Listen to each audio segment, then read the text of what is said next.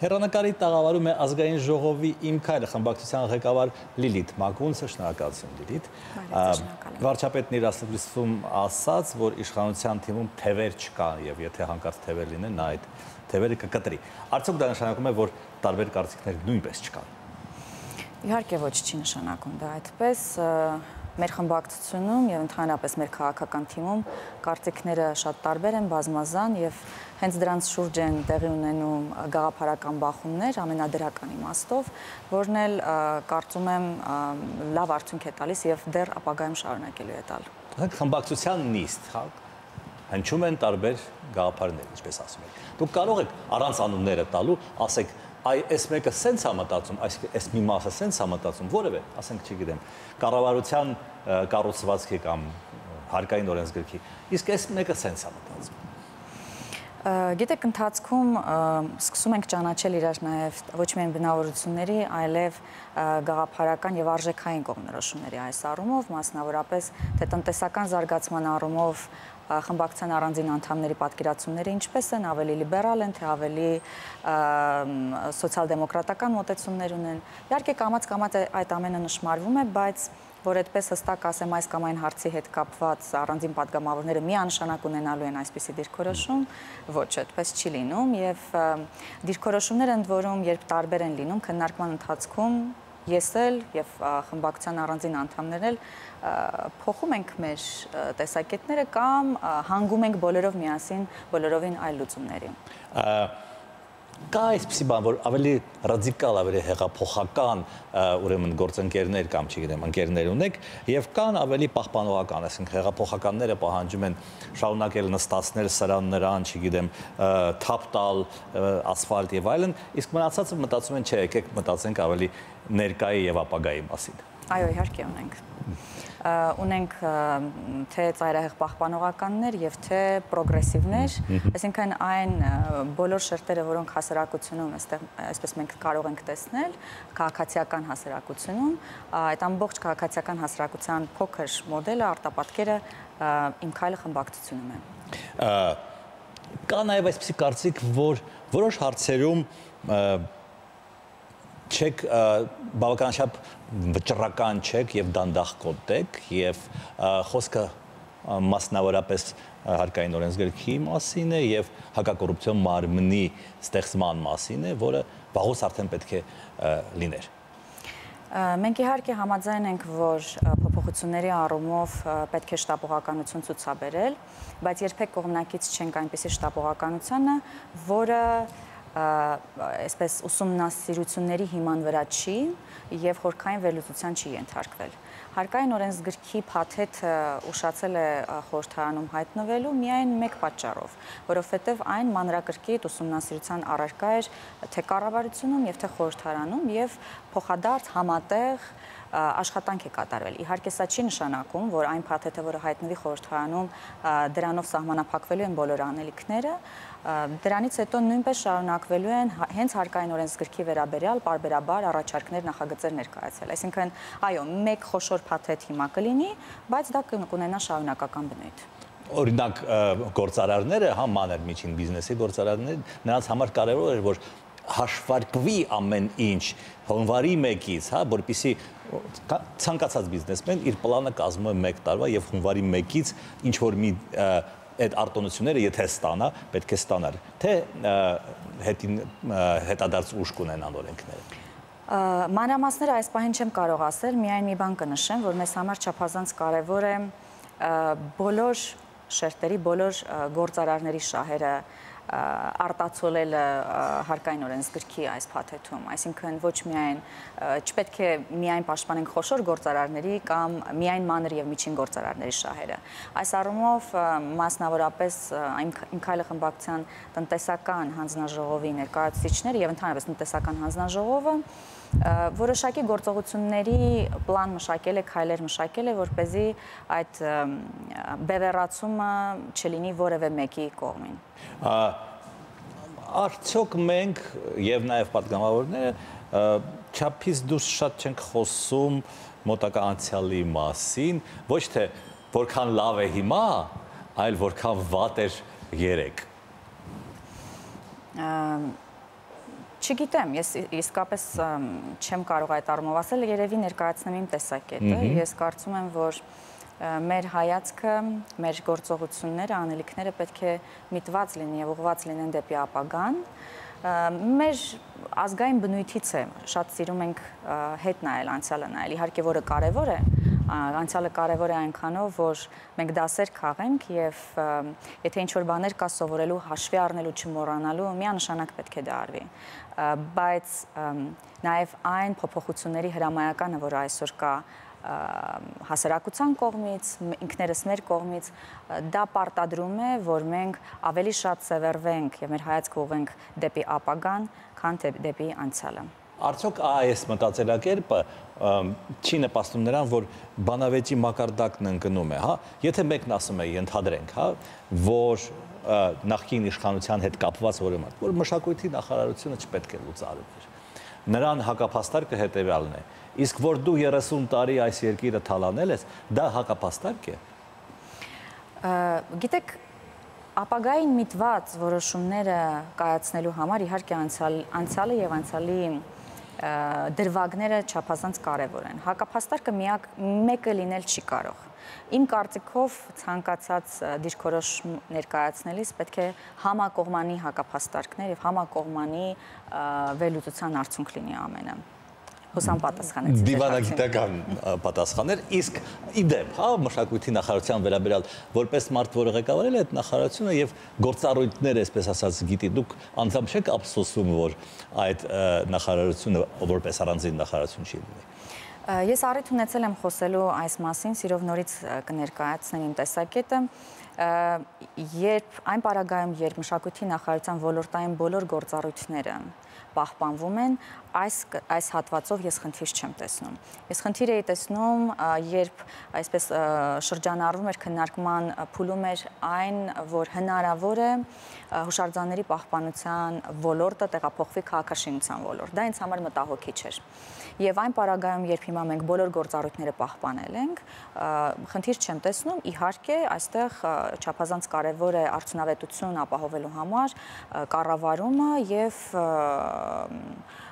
ոլորտի ոլորտի պատասխանատուները նաև փոխնախարարներից շատ բան է կախված լինելու փոխնախարարները արդյոք ժամանակ կունենան 4 ոլորտի փոխնախարարները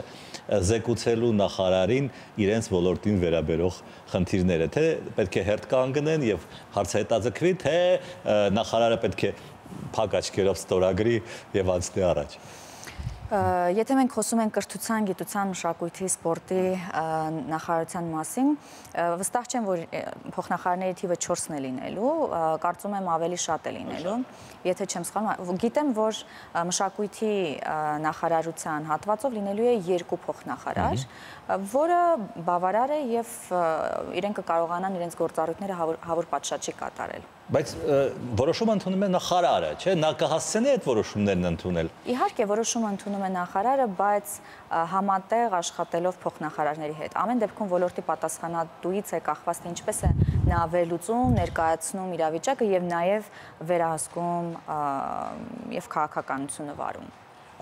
Վերադառնալով ներկայ եւ անցյալի փոխհարաբերության հարցին, կա այդպիսի կարծիք, որ դրանք հաշտեցնելու եւ հասարակությունը ընդհանրապես հաշտեցնելու, հանդարտեցնելու համար պետք է անցումային արդարադատության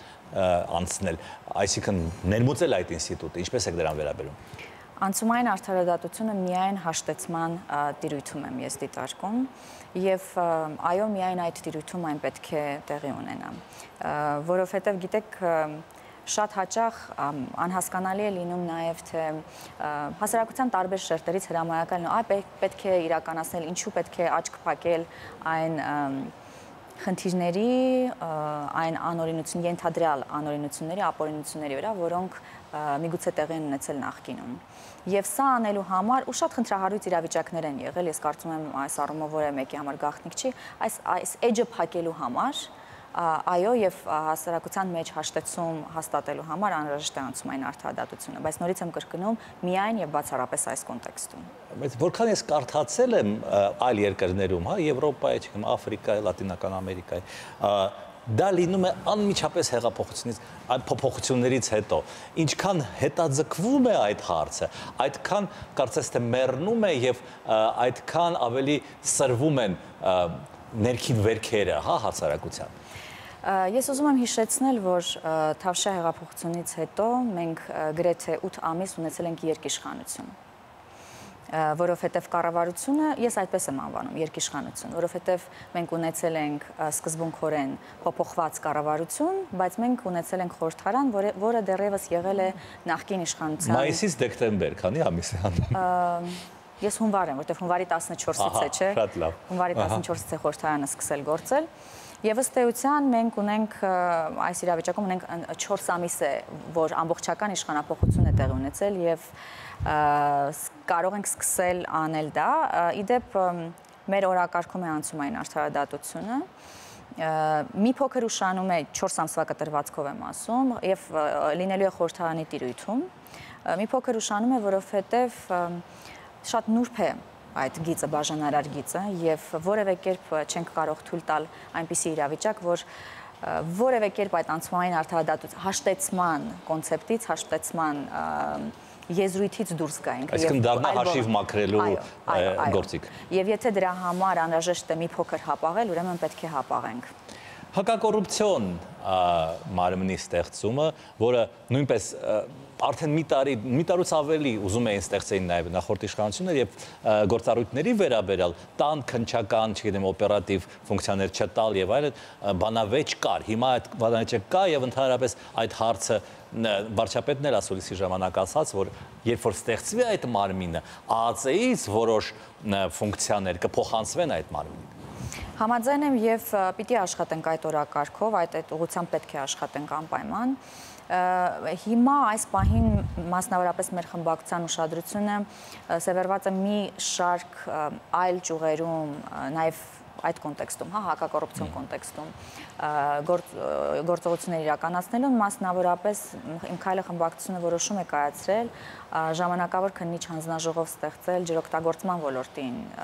ոլորտի գործունեության արդյունավետություն ստուգելու առումով Եվ մինչ հակակոռուպցիոն մարմնի ձևավորումը կարծում եմ ժամանակավոր հանձնաժողովները, քննիչ հանձնաժողովները այս գործառույթը որոշ չափով պետք է իրականացնեն։ Այսինքն դա կլինի հակակոռուպցիոն ընդհանուր մարմին այս տարվա ընթացքում, այսպես ասենք ես չափազանց պատասխանատու եմ իմ խոսքերի նկատմամբ դրա համար ժամկետներ չեմ չեմ կարող այս բան ժամկետներ հնչեցնել միայն այն պատճառով որովհետև խմբակցությունում այդ հարցը դեռևս չենք քննարկել օրակարգում կա այդ հարցը մեր օրակարգում բայց դեռ չենք քննարկել միգուցե լրացուցիչ առիթ է այս ամենը արագացնելու համար աղմկոտ թեմա աշխատավարձեր եւ պարգևաճարներ։ Մի կողմից པարզ է, որ նորմալ մասնագետը, որը ստանում է շատ բարձր աշխատավարձ, նա չի համաձայնի երկար ժամանակ աշխատել 3 անգամ ավելի ցածր աշխատավարձով նաև падգամավոր դեպ ասեմ եւ նախարար եւ ցանկացած այլ պաշտոնի։ Մյուս կողմից բա ուսուցիչները, բա բժիշկները, բա մնացածները, որոնք ստանում են շատ ավելի ցածր աշխատավարձեր, քան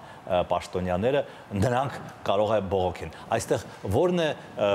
լուծման ճանապարհը ցես։ Գիտեք, մի փոքր ավելի հետ գնամ, հետո պատասխանեմ ձեր հարցին։ Ես համաձայն եմ այն տեսակետի հետ, երբ ասում ենք, որ այս թիմը քաղաքական թիմը եկել է որոշակի քաղաքական առաքելությամբ եւ այս, պարագայում աշխատավարձերի բարձր աշխատավարձերի հարցը մղվում է հետին պլան։ Եվ եթե նայենք թե մեր նախարարներից շատերը նախկինում ինչ աշխատավարձ են ստացել, այսինքն առաջնային այդ քաղաքական պատասխանատուները ովքեր հիմական, շատերը նրանցից շատ ավելի բարձր աշխատավարձով եւ զրո քաղաքական պատասխանատվությամբ աշխատանքներ են կատարել եւ այսինքն ամեն դեպքում նրանք այս առումով քաղաքական առաքելությամբ այստեղ են գտնվում, բայց այդ շերտից զատ կամ միջին եւ ցած միջինից ցածր աշխատ աշխատակիցները պետական ապարատում, որոնց որոնք որոնց բացարձակապես այդ քաղաքական առաքելության զողությունների պատրաստ չեն։ Պատրաստ չեն, իսկապես պատրաստ չեն։ Այլ հարցը ինչու են պատրաստ, ինչու պատրաստ չեն։ Եվ Չափազանց կարևոր է, որ մի կողմից այո, մենք կարող ասել դե գնացեք, չգիտեմ, մասնավոր սեկտորում, մասնավոր ոլորտում աշխատեք, բայց որպես քաղաքական իրավիճակի պատասխանատուներ, մեզ համար կարևոր է նաև լավագույն մասնագետներին ունենալ հենց պետական ապարատում։ Ինչու, որովհետև հենց նույն ուսուցիչների, միև մյուս ոլորտների աշխատավարձների բարձրացումը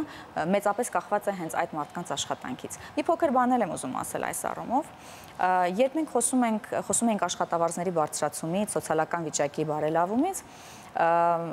պետական բյուջեից այդ բարձրացումը տեղի ունենում հենց պետական համակարգում աշխատողների համար եւ պետական համակարգի մեջ մտնում են իհարկե դպրոցները, իհարկե ոստիկանությունը եւ այլն։ Եվ բոլորին պետք է իհարկե դա վերաբերի, ոչ թե միայն մի կառույցին, բայց դա պետք է մենք չենք կարող միաժամանակ բոլոր կառույցներին կառույցների աշխատողների աշխատավարձը բարձրացնել։ Իդեպ, երբ խոսում էի քաղաքական պատասխանատուների մասին, մենք բոլորովին երբ ասում ենք աշխատավարձների բարձրացում, անձամբ ես եւ իմ գործընկերները նկատի չունենք հենց մեր աշխատավարձի բարձրացումը, բացարձակ մենք պատրաստ ենք այնպես ինչ այն առաքելությամբ ինչով եկել ենք շարունակել բայց հասկանում ենք, որ պետական համակարգի արդյունավետ աշխատանքը կախված է նաև այն մոտիվացիայից, որ ունեն այդ աշխատողները։ Նախկինում ցածր աշխատավարձը չի եղել մոտիվացիան։ Նախկինում եղել են Աշխատավարձի հույսին չէին։ Իհարկե, դրա հույսին չէին։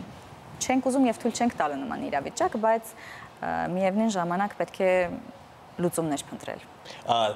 Վերջին հարցը, դուք գիտակցում եք, որ ոչ պոպուլյար լուծումները դրանցից մեկը աշխատավարձի բարձրացումն է, որը ըստ երևույթին ըստ իս պետքա լինի։ Պետք է անել հնարավորինս շուտ, որովհետև որքան հերու հետաձգվեն այդ որոշումները, այդքան դժվար կլինի դրանք ընդունել իշխանության հանդեպ որոշակի խնդիրներ առաջանալու պարագայում։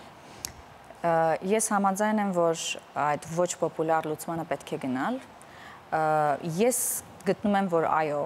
շուտ պետք է դրան գնալ։ Բարեբախտաբար ես չեմ այդ որոշումը կայացնողը,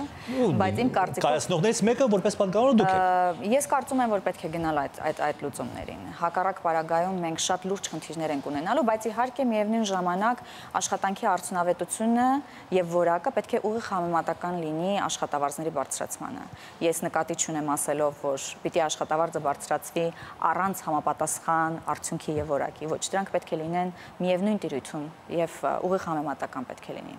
Շնորհակալություն։ Ձեզ նույնպես շնորհակալ եմ։ Հերանակարի տաղավարում էր ազգային ժողովի իմ քայլը խմբակցության ղեկավար Լիլիթ Մակունցը։